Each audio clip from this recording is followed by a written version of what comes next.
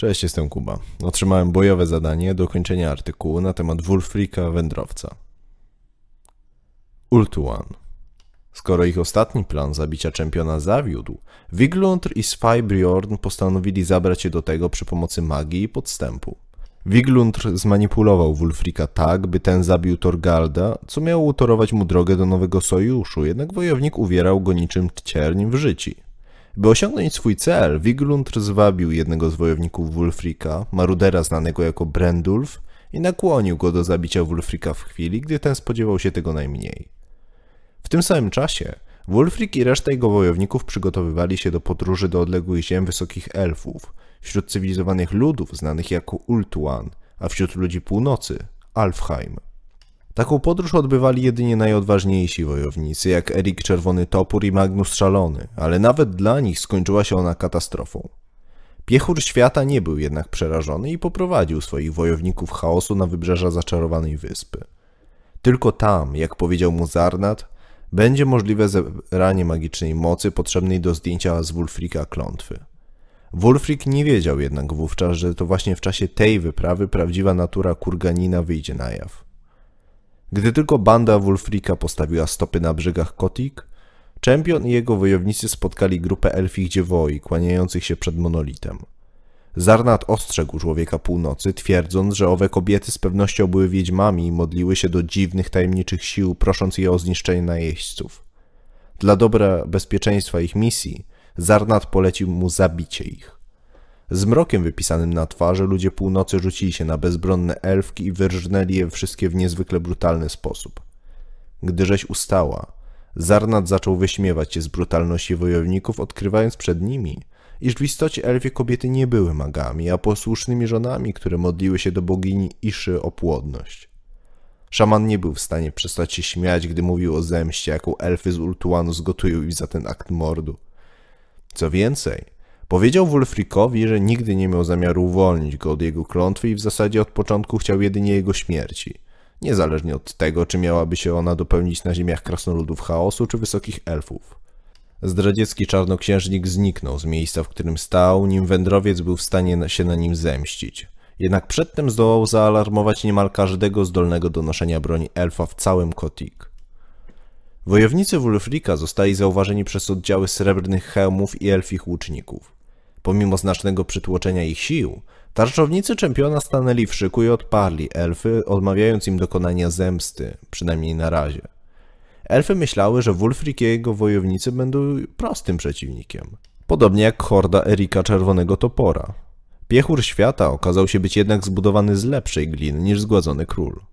Wulfrik pokonał nawet jednego z wielkich, bradych wermyrmów z Ultuanu, wykrwawiając go i przeganiając z powrotem w głębiny. Morski kieł został jednak rozbity w drzazgi. Mimo wszystko Wulfrik wciąż miał nadzieję. Prawdziwa moc okrętu nigdy nie drzemała w jego wiosłach ani w kadłubie, a w smoczym dziobie statku, gdzie skupiała się demoniczna magia. Przy pomocy smoczego dzioba Wulfrik i ostatni ocalały członek jego załogi Brendulf zdołali uciec z Ultuanu. W czasie ich podróży do królestw granicznych Brendulf odkrył przed Wulfrikiem skalę zdrady Wiglundra i wyznał mu część jego planu, która miała dotyczyć jego osobiście. Rozgniewany czempion zaoferował Brendulfowi rozejm do czasu, gdy ich wspólni wrogowie, na których z czele stał Zarnat, nie zostaną zabici. Zemsta. Korn. Darli się w niebo głosy, wzywając święte imię Karnata, krwawego boga władcy bitew. Korn! Wyli, dopóki nie zdało im się, że mury runęło do gromu przemocy w ich głosach. Korn! Wrzeszczeli zaciskając zęby i wgryzając je w tarczę.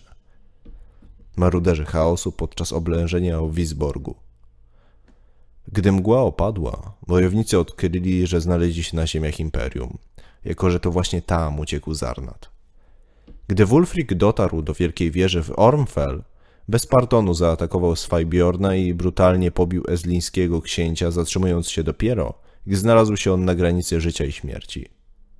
Taką wymierzył mu karę za jego zdrady i oszustwa, które kosztowały Wulfrika życie całej jego załogi i przymuszenie obiecanej czempionowi sarlejskiej księżniczki Hjordis do małżeństwa. Samą Hjordis Wulfrik uznał zaś za słabą, skoro faktycznie dała się ona zmusić do małżeństwa, po czym oficjalnie ją odrzucił. Gdy Wulfrik przygotowywał się do poderżnięcia Swajbjornowi gardła, do akcji wkroczył Wiglundr z oddziałem odzianych w żelazne pancerze wojowników i zaczął błagać Wulfrika o oszczędzenie Swajbjorna, bojąc się zemsty Ezlingów na wieść o śmierci jednego z ich wodzów.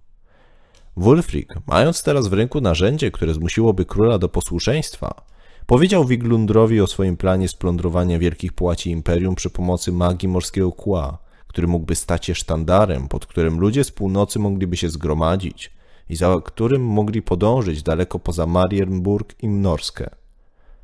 Zaintrygowany słowami czempiona, Wiglund zgodził się pod jednym warunkiem.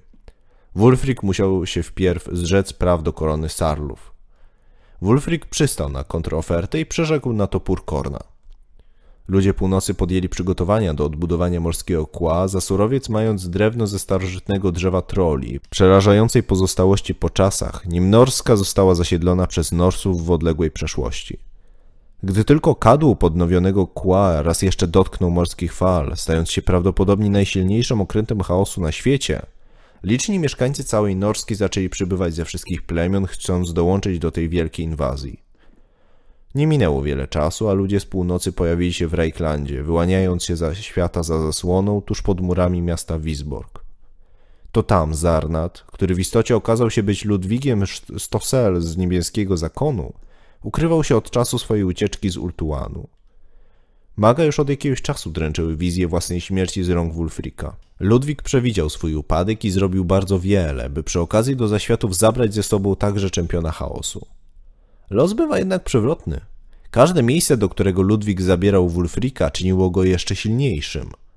Wykrzykując imię Korna, norskiego boga bitew, wojownicy Norsów wyrżnęli sobie drogę do pomniejszych umocnień południowego miasta w berserkerskim szale. Wulfrik pokonał w boju potężnego kapłana wojownika Sigmara w czasie oblężenia, dowodząc wyższości mrocznych bogów z północy nad bogami z południa. Baron Wisborgu także zginął, podobnie jak jego żona. Całe miasto stanęło w ogniu i zostało ograbione z wszelkich bogactw. Wulfrik i jego ludzie otoczyli Stosela w jego wieży, rozpoznając lazurowy błysk w jego oczach i wywalczyli sobie drogę przez wszystkie jego bojowe konstrukty. Gdy Stosel został osamotniony na placu boju, ludzie z północy poddali go śmierci poprzez wycięcie mu krwawego orła w zemście za skalę jego przewinień. Choć jego zemsta dopełniła się, Wulfrik wciąż miał długi do spłacenia. Niedokończone sprawy.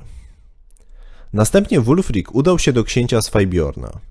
Ezlingowie podjęli próbę przekupienia jego ludzi, obiecując mu część zgromadzonych skarbów. Czempion chaosu, nie znając pokusy związanej z bogactwem, obiecał swoim ludziom zawartość skarbca na pokładzie morskiego kła w zamian za udzielenie mu pomocy w jego własnej intrydze. Wulfrik wyjaśnił wystraszonemu księciu, w jaki sposób z łatwością może on przeciąć ogniwa łańcucha łączącego większość długich łodzi z morskim kłem, zostawiając na miejscu większość zdrajców, podczas gdy sam kieł błyskawicznie przeniósł się do Królestwa Chaosu. Widząc powiewającą na maszcie flagę Swajbjorna, plemiona natychmiast oskarżyłyby właśnie jego, nie Wulfrika, przez co imię księcia stałoby się przeklęte na wieczność. Swajbjorn błagał Wulfrika, by ten oszczędził jego honor, przystając na wszelkie tortury ze strony czempiona, ale Wulfrik pozostał nieugięty. By przypieczętować zemstę, Wulfrik wykorzystał jeszcze jedną torturę, mającą powoli zabić księcia. Włożył mu do gardła węża, podczas gdy ten błagał o litość. Gdy wędrowiec wrócił do Ormskaro, rzucił odciętą głowę księcia do stóp Wiglundra. Jego twarz po starciu z jadem gada była opuchnięta i wyglądało na to, że książę niezwykle cierpiał przed śmiercią. Co więcej, Wulfrik pochwalił się, w jaki sposób udało mu się zostawić jego wojowników na terenie nieziemi imperium. Wiglundr był zszokowany. Plemiona miały teraz powód do ostatecznego zjednoczenia się. Zemstę za śmierć swojego wodza. Król raz jeszcze zaczął prosić Wulfrika o pomoc, błagając o przebaczenie za próbę oszukania go. Wulfik głośno się zaśmiał, po czym wybiegł z królewskiej hali, wyobrażając sobie północne Ormskaro i Wiglundra, umierającego okrutną śmiercią z rąk hersztów innych klanów. Wiglundr w największej rozpaczy przypomniał mu o Hjordis. Nie zdało się to jednak na nic. Nie mógł przecież wiedzieć, że na chwilę przed swoim przybyciem do Ormskaro Wulfrik zamordował także i ją. W taki oto sposób Ormskaro, legendarne miejsce spotkań sarlijskich plemion, popadło w ruinę i zniszczenie. Co bardzo ironiczne, wyrok nad miastem został spisany ręką człowieka, którego Sarlowie postrzegali za jednego ze swoich największych bohaterów. Cała ta przygoda przysłużyła się Wulfrikowi, jako że to dzięki niej poznał on prawdy na temat własnego przeznaczenia. Jego klątwa zaprawdę była błogosławieństwem. Bez mocy morskiego kła nie byłby on w stanie uwięzić swoich wrogów intrygatorów w pułapce. Bez zgromadzonej chwały jako piechur świata nie mógłby zdobyć lojalności tak wielu dzielnych wojów. Bez kłamstw Zarnata elementy układanki nigdy nie stałyby się jednością. Bogowie pomogli mu wywrzeć zemstę. Dzięki odnowieniu swojej wiary, Wulfric był w stanie służyć im przez całą wieczność jako ich łowczy. Od tej pory czempion bogów miał już nigdy więcej nie uciekać przed własną zgubą, a zamiast tego miał on dzielnie stawić jej czoła, podróżując na krańce świata i składając bogom wyznaczone mu przez nich podarki. Od tamtej pory Wulfric wędrowiec stał się najbardziej oddanym sługą mrocznych bogów i nieustannie czuł ich moc płynącą w jego żyłach. Czasy końca w trudnych czasach końca Wulfric był jednym z wielu czempionów, którzy wyzwali Heralda Sigmara, Waltena do walki na śmierć i życie. Ostatecznie Wulfric podzielił los wszystkich tych, którzy się z nim starli i poległ pod naporem jego błogosławionego młota. Osobowość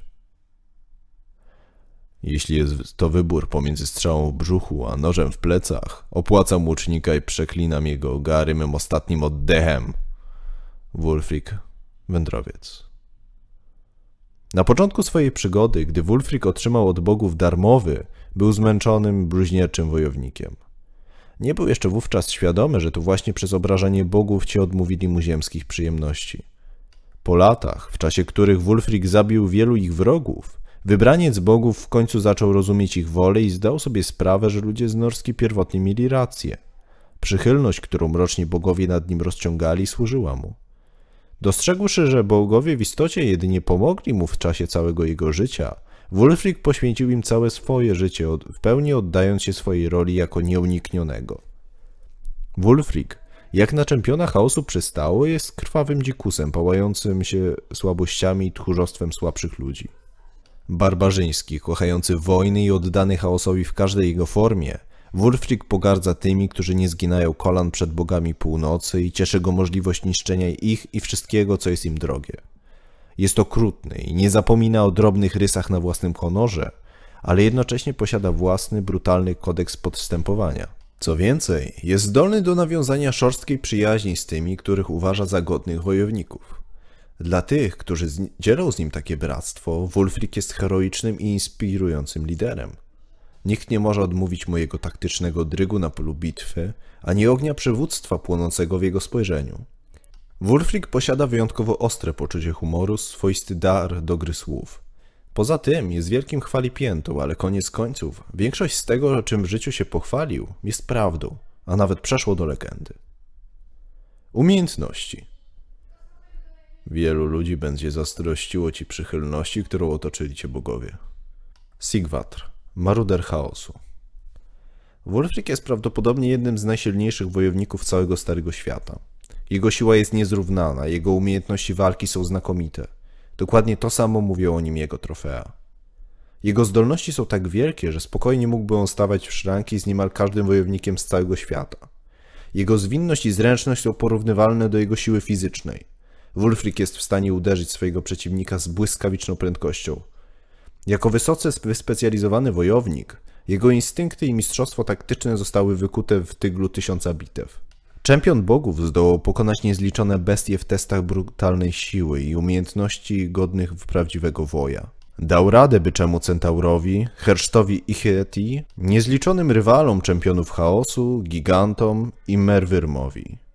Wulfric posiada darmowy, który pozwala mu na wyzwanie na pojedynek dowolnej istoty na świecie w jej własnym, natywnym języku. Dar nie pozwala mu na składanie dowolnych zdań w danym języku, ale pozwala mu na przemówienie do samej duszy istoty i zmuszenie jej do stoczenia z nim walki. W połączeniu z dobrze znanymi skłonnościami Norsów do gryzienia i rzucania obelgami w stronę przeciwnika, Wulfric jest w stanie wprowadzić swoich przeciwników w stan furii, podczas którego o wiele łatwiej jest im popełnić fatalne w skutkach błędy, dając czempionowi przewagę. Podobnie jak wielu innych czempionów chaosu, Wulfrik jest odziany w bluźnierczy i niemal niezniszczalny pancerz chaosu. To na tyle na temat Wulfrika Wędrowca. Dzięki za wysłuchanie i do usłyszenia.